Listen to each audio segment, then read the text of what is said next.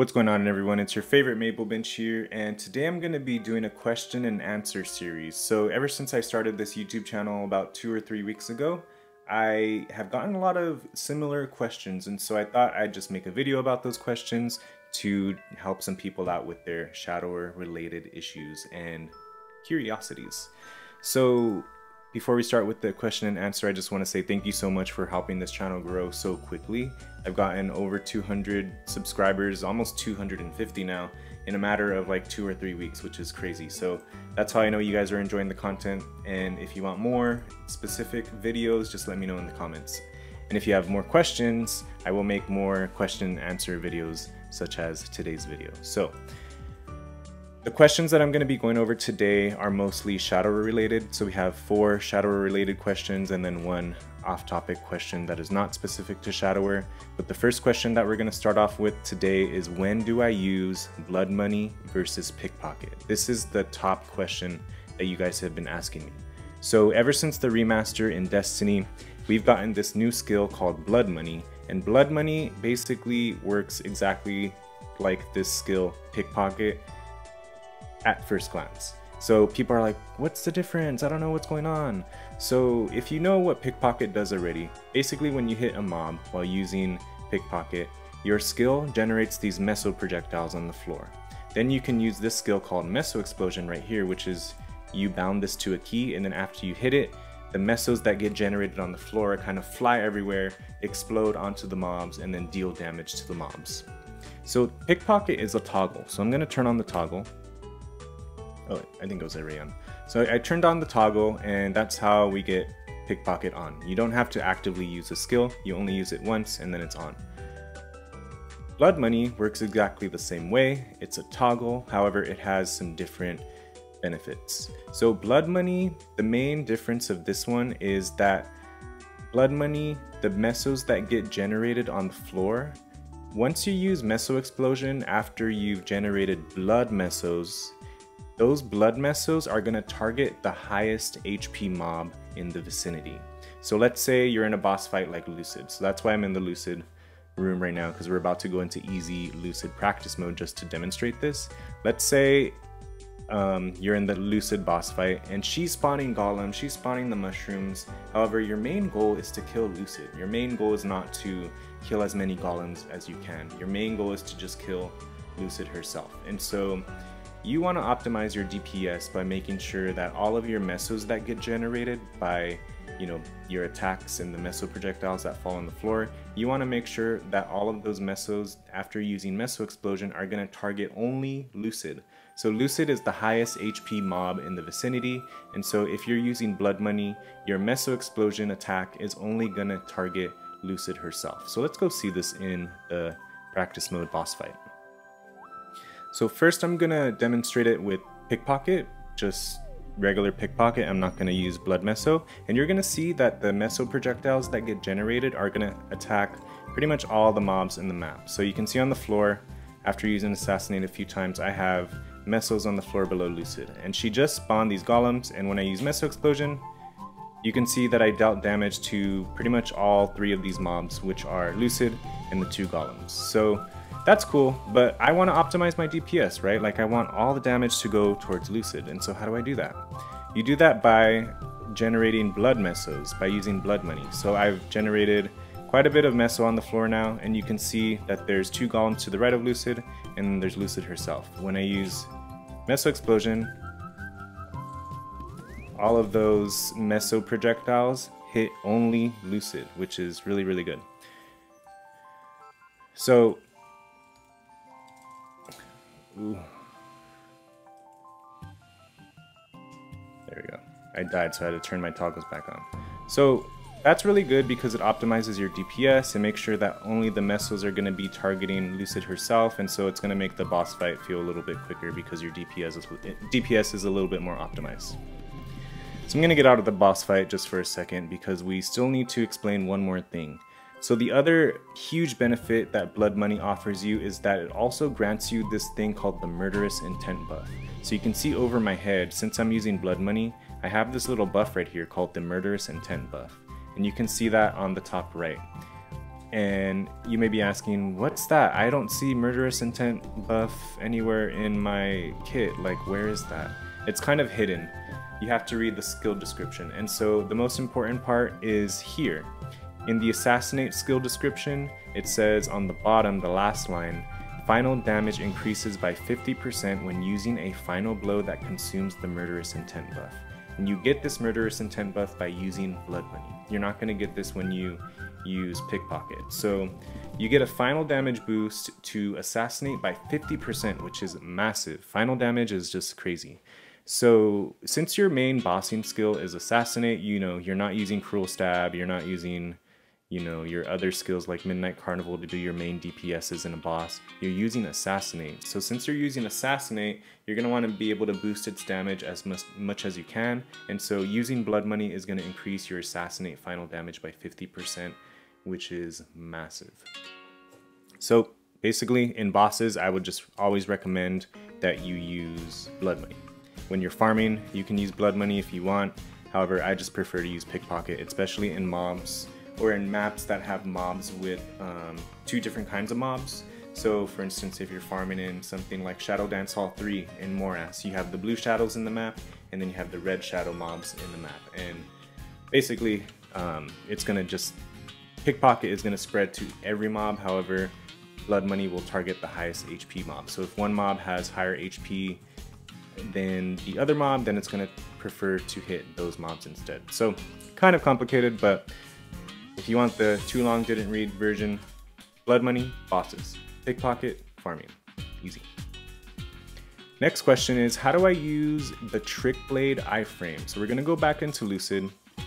And Trick Blade is a mobbing skill, but it's also a bossing skill. And today I'm gonna be describing the bossing effect. So when you're in a boss fight, or hitting any mob with assassinate, look at, look at the top of the mob. You can see right here on top of Lucid that there is like a stack. It's like a little skull with two swords and then it has a number. That's these things called the stacks that you want to pay attention to. And if you have three stacks on a mob, okay, so the way you add stacks is by using assassinate. So you can see that you have I have three stacks on the mob now, and I'm gonna use the Trick Blade iframe. So after using the Trick Blade iframe, I teleported to the mob that had the stacks on it, and basically I got a two second iframe after using that. And so it's really great for survivability. However, Trick Blade also does massive damage, and so you just want to use it, you know, anytime you can. So if you're even far away like this and use a, a trick blade, you're gonna get that iframe and you're gonna move across the map to behind the boss, which is really, really helpful for survivability and it's also um, just your one of your main DPSing skills because it's op it's up like every 20 seconds when you use it as an iframe and so it's just all around really good. You can use this skill a lot of times. You can also use it when you are using Sonic Blow. So you can use Sonic Blow and then you can cancel Sonic Blow by pressing Trick Blade and you get that iframe. So those are the two ways that you use it. I know it may be a little bit complicated, but let's go into a little bit more depth as to how to use this. So I'm gonna go into a different boss. I'm gonna actually go into Balrog. Balrog, a lot of people never do this boss, but it's a good target dummy at the end of the day. So I'm gonna apply the stacks to the boss. So you can see the stacks right here where my mouse is. I have three stacks there. And the way you apply a stack is by using the second blow of Assassinate. So look at me use Assassinate. You can see that I kind of did like a slash that was horizontal and then when I press it again, I did like a vertical slash. So see that again. Horizontal, press it again, downward. When you do that downward slash, which is like what people call the slam or the dunk, um, you apply the stack. So that's when you apply the stack. When you do the horizontal slash or slash, you do not apply a stack to the boss. It's only when you do that downward slash. So when you're on your Shadower next time, pay attention to the way Assassinate operates. Just like click it, click it, click it and look at what it's doing. Okay, so once you have three stacks on the mob, that's when you can use Trick Blade as an iframe. So the way you use it is you wait for your downward slash, and after your downward slash, you're gonna wanna just spam Trick Blade as fast as you can. So horizontal slash, no. Downward slash, yes. So my next assassinate is the downward slash, so let's do it. One, two, three. Downward slash, Trick Blade. Oh, I did it too slow. Okay, that was my fault. Let's try it again. You can see, as you can see, Trick Blade is like a mobbing skill when you're not using the iframe. And so if you don't weave it properly you're gonna get that you know mobbing version. So I'm gonna do it. One two three. I did the downward slash and then I spammed trick blade and that's when I teleported behind the mob and was able to get a two second iframe. So that was pretty cool. Let's try it again Oh, I have to wait for the cooldown to come up. For Trick Blade, it's up like every 20 seconds. If you have skill, skill cooldown reduction, then it goes down, but... Okay. I'm... Okay, I'm... has three stacks now. I'm to do the downward slash, and then I'm to spam Trick Blade right after that. So you can see I teleported right behind the mob, and then I got a little iframe. So just practice that. Go into a boss fight and practice that. Trick Blade is on a low cooldown in comparison to other classes iframe skills, so you have a lot of chances to practice that in like a matter of minutes. So let's try it one more time. Okay, horizontal slash, downward slash, horizontal slash, and then downward slash, then Trick Blade. There you go. Cool. So I hope that was helpful. A lot of people find that really, really confusing. So yeah. How do I get out of here? I've never been to Balrog actually, I just know it's a good boss to demonstrate certain stuff. Alright, so the next question is, how do you weave Assassinate and Meso Explosion? So, Meso Explosion is a skill that is not macroable, so you can't just like macro it to assassinate. You have to actually weave Meso Explosion in between your skills if you want to be getting optimal DPS. And so there's this thing called sticky keys if you don't know what sticky keys are, you just look up the options for sticky keys in your Windows. So I just press the Windows button, I type in sticky keys, and then there's an option there. I'm gonna link a video to a Kanna guide on sticky keys because I feel like that guide explains it a little bit more. The concepts are the same, however, you're just using different skills, which is Assassinate and Meso Explosion. So when I turn on sticky keys, I can basically hold down Control and my Meso Explosion key, F. I have control, uh, Assassinate on Control and Meso Explosion on F. I can basically hold both of those keys down and Meso Explosion and Assassinate will activate pretty much at the same time and weave itself. So let's go into another boss fight.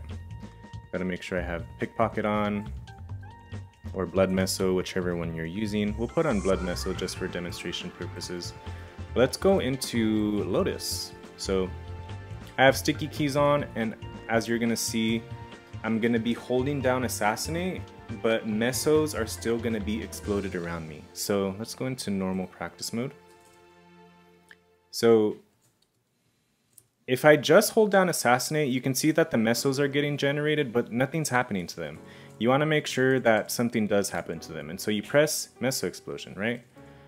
However, I want that to happen like you know, flawlessly. I turn on my sticky keys and then when I hold them down, when I hold the two skills down, you can see that they're activating at the same time. Meso Explosion and Assassinate. Like, it's pretty easy. I'm just holding down two buttons. I'm holding down my control key and I'm holding down my Meso Explosion key on F. So I'm holding it down, holding it down, and basically the skills are just activating at the same time. So that way I get the DPS from Assassinate, but I also get the DPS from Meso Explosion, which is nice. So you're going to be wanting to weave Meso Explosion for your DPS and bosses, and so I like to use sticky keys because it just makes it easier. However, you can also just manually weave. So if you watch someone like Dubsley, I recommend you watch his stream for Shadower content he basically manually weaves and what that means is he presses assassinate and then manually weaves and you can hear me like doing a rhythm on my keyboard. I'm not doing it right, but that's what I hear when I watch Dubsley stream. He's always doing that rhythm. He just manually weaves it on his own. He'll press assassinate for a certain amount of time, then hit Meso Explosion, press, hit, press, hit, press, hit, press, hit. However, I like to make things easier for myself, and I also haven't learned the new way of weaving manually post Destiny. I don't know what the optimal timing is, and so instead of doing that, uh, uh, uh, I just hold like uh, so yeah I just hold the two keys together by using sticky keys. So that's how I manually or that's how I weave assassinate and meso explosion seamlessly. I just am holding down two keys while sticky keys is on. Okay next question is a farming question so a lot of my friends who have been making shadower they're not doing the thing like I am where I'm doing a no totem progression the reason I'm doing no totem progression is just because I like the farming style on Shadower because you get to rotate skills like Trick Blade and Shadow Assault more frequently instead of you know, just running across a map and just spamming Meso Explosion. I do not like that type of farming. And so I like to slow down my farming pace on a Shadower by not using a totem, using different maps. But a lot of my friends who have been making Shadowers have asked me what map should I farm at with the totem. And my simple answer there is just to follow a Kanna guide.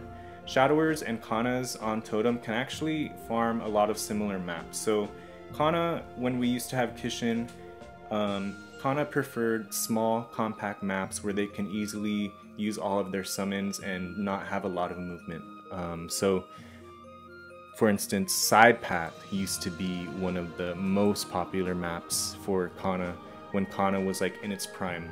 However, Shadower can also really excel at this map because it's small, it's compact, you can basically just set Dark Flare on one spot and then you're just running around with Meso Explosion like on the bottom of the map. And you can make really really good rates. And since Shadowers have that 20% extra Meso you're going to be you know also getting the benefit from that as well. So I would just say if you're going to farm with Shadower on a totem look for small compact maps with like high mob spawn rates and follow basically what Kannas used to do.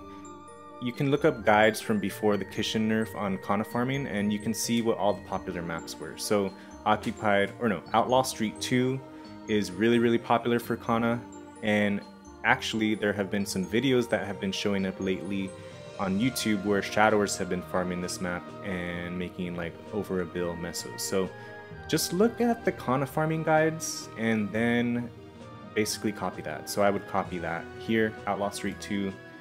I would go to Side Path if you want lazy but good rates. That's a really nice map. In Morass, not a lot of Kannas actually really farmed there. However, when you got to Esfera, Kannas like to farm at MTS3, Mirror Touch C3. That's actually pretty good for Shadower as well. And in Moonbridge here, this is a good map too because it's really, really small. My friend, I think it's like one bill per hour rates when he's using a Wealth Potion and Legion coupon and a totem here, and it's a small compact map with lots of mobs. So look for small compact maps where pretty much like Kannas would farm. Big maps on a totem for Shadower isn't as good because you're not going to be able to keep up with the mob spawn rates. However, big maps for a Shadower off totem is actually way better. So on totem, go to smaller maps, off totem, go to bigger maps. Now, the last question is not so much Shadower related, but I've gotten this question quite a bit, and it's how do I get so many node stones? So in my No Totem progression series, you guys saw me using 2,000 nodes almost on my baby Shadower. I actually used like almost 1.5k on that character. However, a lot of people are like, dude, how did you get so many node stones? That's crazy, blah, blah, blah. And I was like, you know what? it's just a blessing for me having an old account.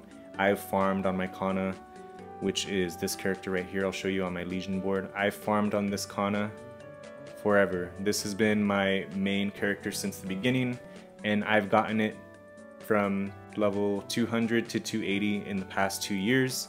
And so this was just my main source of money. It was my main, my main source of node stones.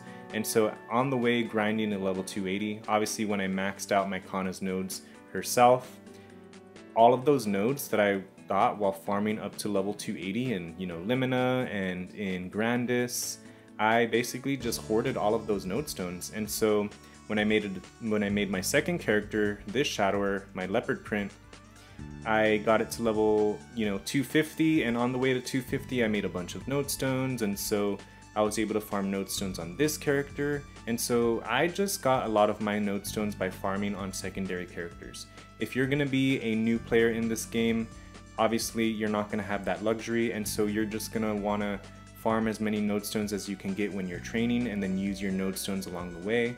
However, I would also encourage you to take advantage of event shops like the one we have today because event shops actually sell node stones there and I think it's a really good investment for someone who is new to the game to purchase those node stones because node stones are very very valuable sources of damage for an early game player. Another thing I would recommend is when you're early game I would recommend you focusing on getting drop gear so you can see that like a accessory like this, a pendant. I have item drop rate plus 20% on there. That's really good because the higher your drop rate is, the more node stones that you're gonna get when you're farming. And so just try to get as much drop rate as you can. You can get drop rate from your accessories, you can get drop rate from your inner ability, like I have right here, I have item drop rate plus 10%. I also have a familiar that I open.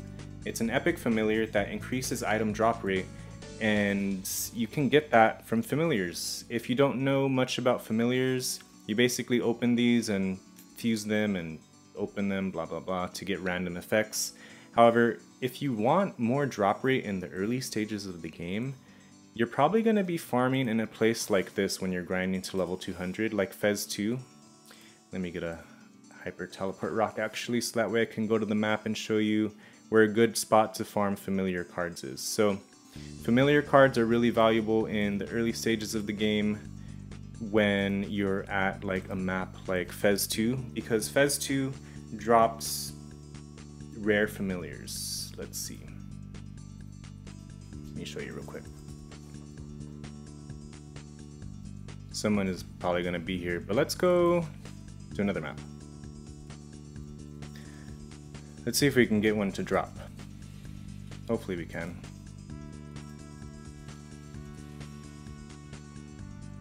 I have a vac pet, so I kind of don't know when things drop sometimes. but anyways, you're going to kill mobs like this. They're going to drop familiar cards. When they drop a familiar card, you're going to want to open it. And the ones you're going to want to open are these blue ones, the ones with the blue outline. So you open it, and then you add it to your familiar list. And then in your collection here, you're to see that you have a familiar here. So, oh, okay, cool. You're to click on it in the info tab, and then you're to open up a random ability.